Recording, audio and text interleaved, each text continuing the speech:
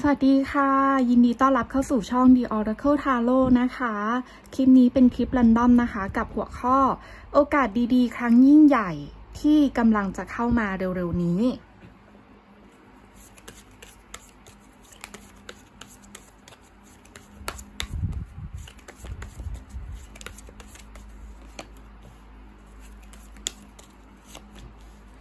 Hangman the Star โอ้สองถ้วย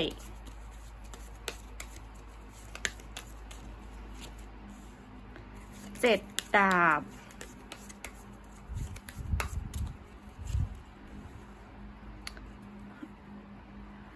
Queen of Pentacle อืม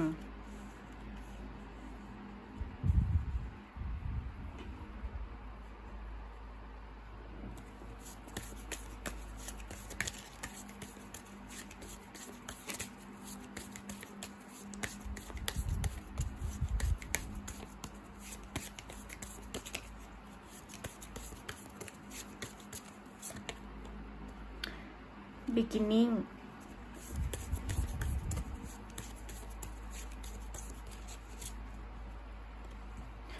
energetic movement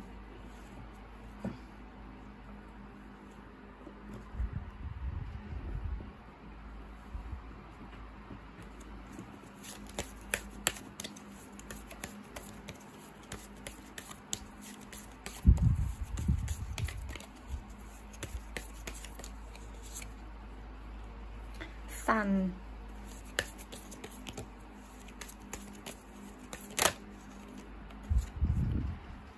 gardening โอเค โอกาส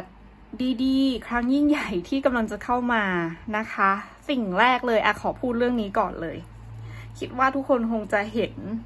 และมันโดดเด่นมันป๊อปอัพขึ้นมานะคะ น่าจะเป็นในเรื่องของความรัก อืม เป็นโอกาสดีจะมีคนเข้ามาในชีวิตของคุณ อ่อาจจะเป็นคนที่ คนที่แอบชอบคุณ เขาคนนี้อาจจะแอบชอบคุณมานานแล้ว แอบชอบมาสักพักแล้ว แอบสนใจคุณมาสักพักแล้ว ก็ได้ หรือในทางกลับกัน อาจจะเป็นคนที่คุณแอบชอบ แอบมอง แอบสนใจ เนี่ย คนนี้มีโอกาสที่จะเข้ามาและเข้ามาในชีวิตของคุณ และคือคุณและเขาอะจะมีโอกาสได้สารสัมพันธ์กัน มีโอกาสได้พัฒนาความสัมพันธ์ ไปเป็นแฟนไปเป็นคนรัก อืม หรืออาจจะเป็นคนที่คุณรอคอย คนที่คุณคิดถึงอยู่ คนที่คุณรอการติดต่อ สื่อสารจากเขามา คนที่อยู่ในใจอะไรอย่างเงี้ย ได้เหมือนกันนะ เออ แล้วมีโอกาสที่จะได้มาเป็นมาเป็นคนรัก ได้พัฒนาความสัมพันธ์กัน ถ้าเป็นแฟนเก่าคนที่คุณรอคอยอะไรเงี้ยมีโอกาสได้เริ่มต้นใหม่นะคะ หรืออาจจะเป็นความสัมพันธ์ใหม่ๆ ในเชิงที่แบบว่า คนเนี้ยมองมานานละชอบมานานละยังไม่ได้เป็นแฟนกันนะ แต่แบบมองกันไปมองกันมาอะไรอย่างเงี้ยก็มีโอกาสได้เริ่มต้นความสัมพันธ์กัน มันจะมีมีการ take action เกิดขึ้น ถ้าสมมุติฝั่งคุณเป็นคนแอบชอบนะ ถ้าคุณเป็นคนแอบชอบ เรามองว่ามันจะมีโอกาสดีๆ ที่คุณจะได้คุยกับเขา หรือได้เข้าใกล้ ได้ใกล้ชิดได้สนิทสนมกับเขามากขึ้น หรือมีโอกาสในการทำคะแนนอะเออ แต่ถ้าเป็นกรณีที่เขาแอบชอบคุณ อาจจะเป็นตัวเขาเองก็ได้ที่พยายาม take action ทำอะไรบางอย่างเพื่อเพื่อให้ได้อยู่ในสายตาคุณ เพื่อดึงดูดความสนใจของคุณอะไรแบบเนี้ย อืม แล้วก็ อะโอกาสเรื่องอื่นก็มีนะคะ อาจจะเป็นในเรื่องของชื่อเสียง บางคนจะมีชื่อเสียงมากขึ้น โดดเด่นมากขึ้นเอ่อเป็นที่รู้จักมากขึ้น เป็นที่นิยมชมชอบ นับหน้าถือตามากขึ้น มีเมตตามหานิยม มีเสน่ห์มีคนรักใคร่มันไม่ใช่ไม่ใช่ว่าจะเป็นความรักในแบบรูปแบบชู้สาวเท่านั้นนะ แต่มันเป็นแบบ ความรักความเอ็นดู ความนิยมชมชอบอะไรแบบเนี้ยก็ได้เหมือนกันนะคะ บางคนมีโอกาสที่จะได้ต่อยอดในเรื่องของความสามารถของตัวเองที่ความสามารถที่คุณมีอยู่อะค่ะ ได้แสดงความสามารถออกมาให้โลกรับรู้ให้คนอื่นได้เห็น แล้วก็มีคนชื่นชมชื่นชอบอะไรอย่างเงี้ยเออแล้วก็บางคนนะคะมีในเรื่องของการ ช่วยเหลือสนับสนุน supportมีมีคนที่อยู่เบื้องหลัง มีคนที่อยากช่วยเหลือคุณ มีคนที่อยาก support คุณ อยากจะเป็นแรงผลักดันให้กับคุณอะไรอย่างเงี้ย อืม แล้วก็อีกเรื่องหนึ่ง อีกเรื่องหนึ่งก็คือเอ่อสิ่งที่คุณรอคอย สิ่งที่คุณปรารถนาหรือโอกาสเนี้ย คุณอาจจะจ้องมานานแล้ว จะเป็นเรื่องอะไรก็ได้นะคะ เรื่องที่มันอยู่ในใจของคุณ เรื่องที่คุณรอคอย เรื่องที่คุณคิดหรือกังวลถึงสิ่งนี้มานานแล้วอะไรอย่างเงี้ย มันจะสุขสมหวัง จะได้ดั่งใจ คุณจะได้รับโอกาสที่คุณรอคอย อืม สมมุติว่าคุณคุณสนใจงานตำแหน่งหนึ่งที่บริษัทแห่งหนึ่ง อะ สนใจอันเนี้ยมาก ๆเลย แต่ว่าตำแหน่งเนี้ยมันไม่ว่างสักทีอะไรอย่างเงี้ย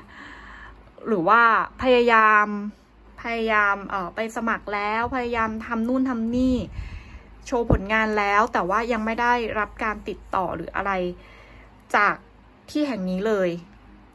เนี่ย ถ้าเป็นแบบนั้นนะ ถ้าคุณแบบอยากได้อันนี้มาก ๆอะ่ะ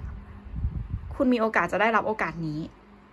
คุณจะได้รับโอกาสนี้ คือเขาจะสนใจคุณ เขาจะติดต่อคุณมา เขาจะยื่นโอกาสให้กับคุณ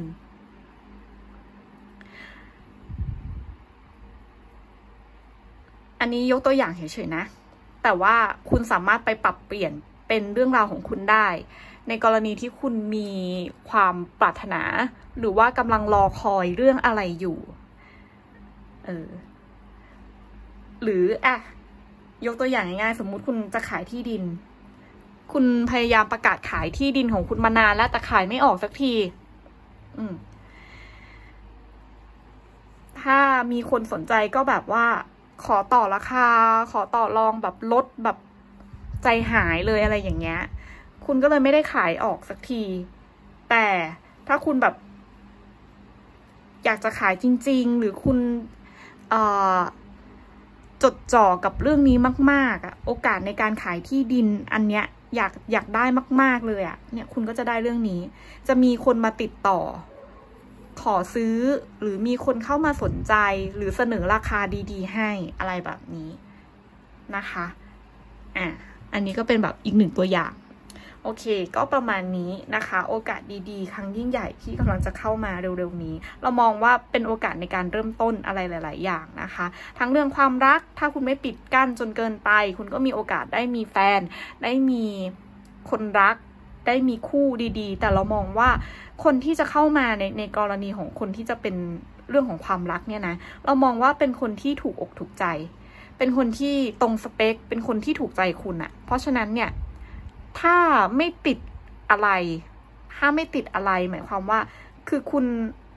มันจะติดอะไรก็บางคนบางคนยึดติดกับคนเก่า อะ รอคอยใครบางคนอยู่ พอมีคนใหม่เข้ามาก็ถูกใจนะ แต่ว่าก็ยังละล้าละลัง ยังลังเลเผื่อว่าแบบเอ้ยคนเก่ากลับมาละอะไรอย่างเงี้ย เนี่ยมันอาจจะติดอะไรแบบนี้ก็ได้ หรือ หรือเขาอาจจะเป็นคนเก่าก็ได้ที่กลับเข้ามา แต่คุณก็ยังติดว่าเฮ้ยเขาเคยทำให้เราเสียใจ เขาเคยทำให้เราเจ็บปวด แล้วกลับมาจะเป็นยังไง เขาจะทำอีกไหมก็กลัวก็ไม่กล้าเปิดใจอีกอะไรแบบเนี้ย เพราะฉะนั้นอะมันจะได้สารสัมพันธ์หรือไม่ได้ มันขึ้นอยู่กับตัวคุณด้วยนะ ถ้าคุณเปิดใจมันก็มีโอกาสได้พัฒนาความสัมพันธ์ มีโอกาสได้เริ่มต้น ความสัมพันธ์ใหม่ ๆนะคะ หรือว่าในเรื่องงานในเรื่องของอการลงทุนการทำธุรกิจอะไรเงี้ยก็มีโอกาสที่จะได้เริ่มต้นทำอะไรใหม่ ๆ เหมือนกัน ที่มันจะสามารถต่อยอดและเห็นผลดีในอนาคตได้ เพราะฉะนั้นเนี่ยจังหวะที่ดีโอกาสที่ดี ถ้ามันผ่านเข้ามาแล้วก็อย่าปล่อยให้มันลอยผ่านไป บางคนจะได้รับข้อเสนอหรือได้รับโอกาสดีๆ ที่ มีคนมาหยิบยื่นให้ เช่น มีคนมาเสนองานให้คุณ หรือมีคนชักชวนไปทำนู่นทำนี่อะไรอย่างเงี้ย ก็ลองดูนะคะ ลองศึกษาดูดีๆ บางทีเนี่ยอาจจะเวิร์กก็ได้ อาจจะเป็นผลดีกับคุณก็ได้ เพราะว่าช่วงเนี้ยมันเป็นเรามองว่าอะไรที่โอกาสอะไรที่มันเข้ามา มันค่อนข้างจะเป็นสิ่งดีๆ สิ่งดีๆ มากกว่านะคะ แต่ก็ต้องดูดีๆด้วยนะ เพราะว่า คนเราสมัยนี้เนาะมันก็มีทั้งแบบไว้ใจได้ไว้ใจไม่ได้ ถ้ามีคนมาเสนองานมามาเสนออะไรให้อย่างเงี้ยเราก็ดูดีๆ ศึกษาดีๆ ถ้าศึกษาดูแล้ว ได้ข้อมูลมากพอแล้ว และรู้สึกมั่นใจอะก็คว้าโอกาสไว้ซะเพราะว่าโอกาสในการเติบโตมันค่อนข้างเยอะโอกาสดีๆ ที่จะเข้ามาอีกมันก็มีนะคะ โอเค